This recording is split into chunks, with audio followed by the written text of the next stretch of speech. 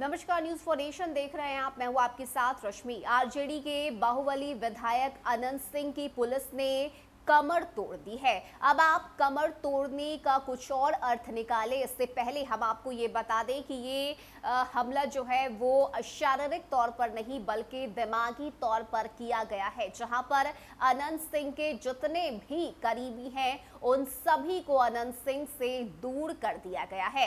बता दें कि पिछले कई महीने से अनंत सिंह बेउर जेल में बंद है और बेउर जेल में रहते हुए जो राजनीति है वो अनंत सिंह की तरफ़ से की जा रही है। खास करके आ, हमने वो तस्वीरें भी देखी जहाँ पर छापेमारी के दौरान अनंत सिंह के पास से मोबाइल फ़ोन और साथ ही साथ कई आपत्तिजनक जो सामान है वो बरामद हुए थे जिसके बाद कयास लगाए जा रहे थे कि अनंत सिंह को बेउर जेल से निकालकर भागलपुर जेल में शिफ्ट किया जाएगा। लेकिन अब बड़ा कदम प्रशासन की तरफ़ से उठाया गया है, जिसमें अनंत सिंह तो नहीं, लेकिन उनके जितने भी करीबी बेउर जेल में रहते थे, उन सभी को शिफ्ट कर दिया गया है और कुल मिलाकर तेईस जो है बंदी हैं जिन्हें बेउर जेल से शिफ्ट किया गया है। ऐसे में बात अगर हम करें तो पटना के आदर्श बेउर जेल में बंद राजद के बाहुबली विधायक की पुलिस ने कमर तोड़ दी है। हालाँकि ये जो है वो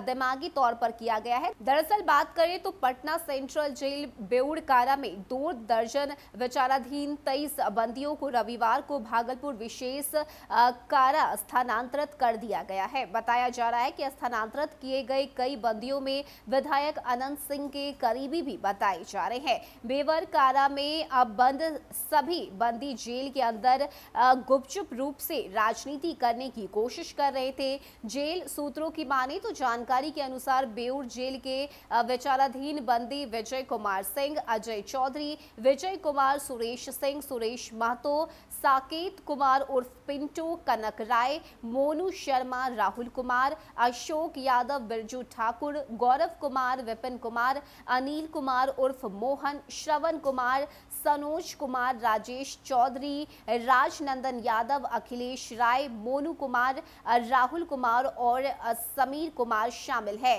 जेल सूत्रों से मिली जानकारी के अनुसार स्थानांतरित किए गए विचाराधीन बंदियों में से कई बंदी दबंग अनंत सिंह के काफ़ी करीबी बताए जा रहे हैं। इसके अलावा बेउर से भागलपुर जेल भेजे गए अपराधियों में सुबोध राय भी शामिल है। वो लोजपा नेता ब्रजनाथी सिंह हत्याकांड के आरोपित है। साथ ही अगर बात करें तो सिर्फ़ एक महीने पहले इस बात की चर्चा खूब हो रही थी कि मुकामा विधायक को पटना से भागलपुर जेल शिफ्ट किया जाएगा। उस समय कोर्ट से इस संबंध में मांग की गई थी, लेकिन जेल प्रशासन ने पूरी योजना में ही बदलाव कर दिए। अब मोकामा विधायक की जगह उनके साथ खड़े लोगों को ही यहाँ से दूसरी जगह भेज दिया गया है। माना जा रहा है कि जेल प्रशासन की इस कार्रवाई से अनंत सिंह अब काफ़ी अकेले पड़ गए हैं। इस मामले को लेकर बेउल जेल के कारा सुप्रिंटेंडेंट जितेंद्र कुमार सिंह ने बताया है कि जेल के प्रशासन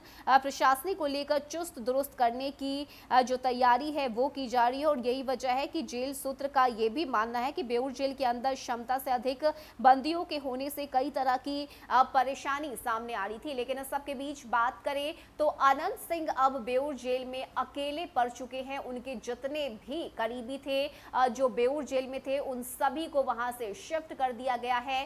खास करके जो सूत्रों के हवाले से खबर सामने आ रही है, उसके मुताबिक जेल में बंद रहते हुए ही अनंत सिंह फ़ोन पर बातचीत कर रहे थे। ना सिर्फ़ पटना, ना बिहार, बल्कि बिहार से बाहर भी लोगों से वो संपर्क में थे, जो कॉल रिकॉर्ड सामने आए थे। उसमें कई तरह के खुलासे किए गए, जिसके बाद ये कहा जा रहा था कि अनंत सिंह को बेउर जेल से भागलपुर जेल में शिफ्ट किया जाएगा। लेकिन अब प्रशासन ने किसी और तरह से अनंत सिंह पर बड़ा हमला किया है, जिसमें अनंत सिंह तो नहीं, लेकिन जितने भी उनके करीबी बेउर जेल में रह रहे थे, उन सभी को शिफ्ट कर दिया गया है, जिसके बाद अब जेल में अलग थलग अनंत सिंह पड़ चुके हैं और पूरी तरह से अकेले हो गए हैं। फ़िलहाल के इतना ही। ज़्यादा अपडेट के लिए आप बने रहिए न्यूज़ फॉर नेशन के साथ नमस्कार।